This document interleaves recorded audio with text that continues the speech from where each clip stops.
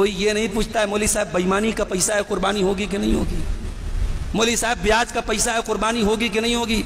मौली साहब, बहन की जायदाद हड़प के बैठे, कुर्बानी होगी कि नहीं होगी? मौली साहब, भाई का हक मार के बैठे, कुर्बानी? यानी जानवर बेदाग होना चाहिए, कुर्बानी करने वाला जितना भी दागदार हो चलेगा। हमारे पास डेली मैसेज आ रहा है मौली साहब, बकरे की सींग टूटी है, कुर्बानी होगी कि नहीं? बकरे के कान में छेद है, कुर्बानी होगी कि नहीं होगी? मौली साहब, बकरे को पैदाइशी सींग नहीं है, कुर्बानी होगी। कुर्बानी का जैसे ही महीना आता है, सवालात की बौछार होने लगती है।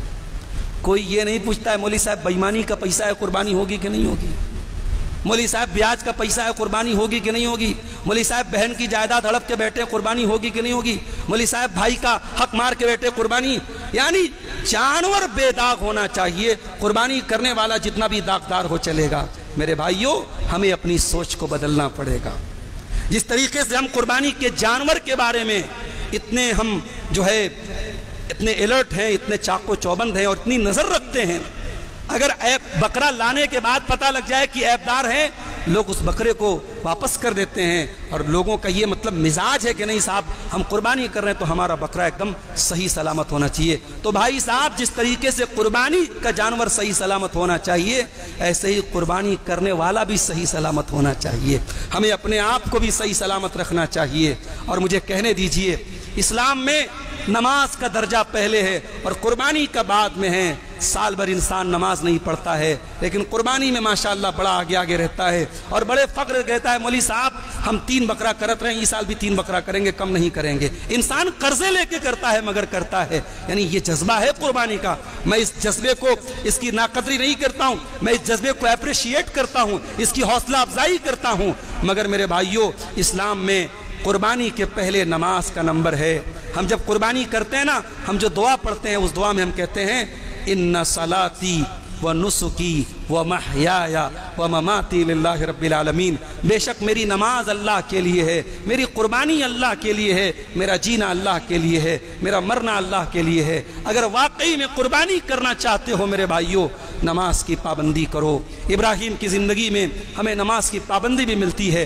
बातें और भी बहुत सारी हैं। इब्राहिम सलाम की ज़िंदगी में हम सब के लिए बहुत सारे नमूने हैं मेरे भाइयों। मैं समझता हूँ, गला ख़राब होने के बावजूद जितनी बातें मैंने बयान कर दी हैं, अमल करने के अतबार से इतनी ही बातें काफ़ी हैं। आगे, नौ जिलहिजा का दिन आ रहा है, अरफा का दिन आ रहा है। ये मसला भी आजकल बड़ा पूछा जा रहा है कि मौली साहब, अरफा का दिन कौन सा दिन है?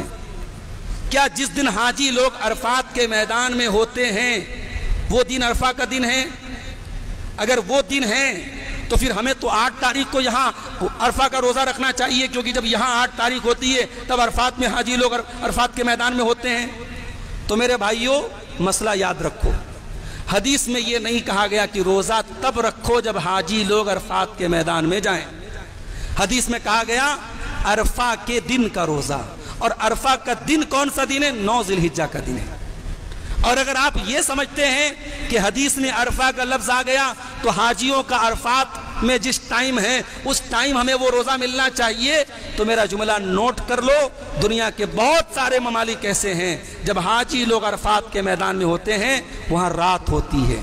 और जब वहाँ सुबह होती है, फजर का टाइम होता है, तब तक हाजी लोग अरफात छोड़ के मुजदलफा जा चुके होते हैं। तो वो लोग तो कभी ज़िंदगी में अरफा का रोज़ा नहीं रख सकते। तो ये बिला वजह की जो है, ये एक जो है हिकमत लगाई जा रही है।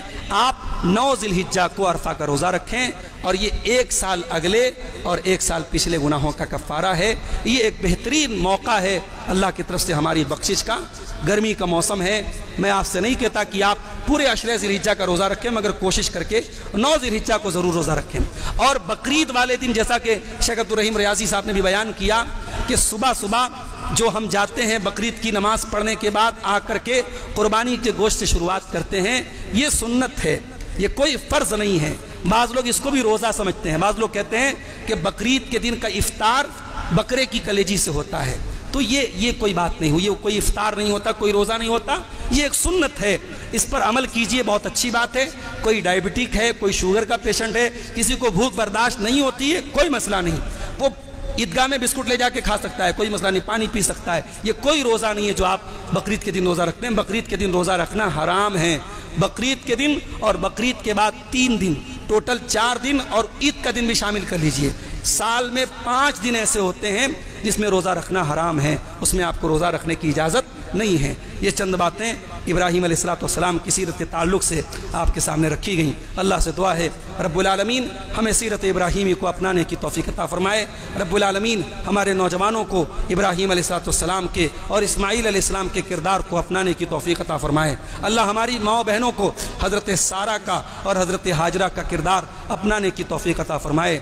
अल्लाह हमारे कारोबार में, हमारे रिस्क में बरकत अता फ़रमाए। अल्लाह हमें ालिमों के जुल्म से, शरीरों के शर से महफूज रखे। रब्बुल गर्मी की शिद्दत को कम करके रहमतों की बारिश नाजिल फरमा दे।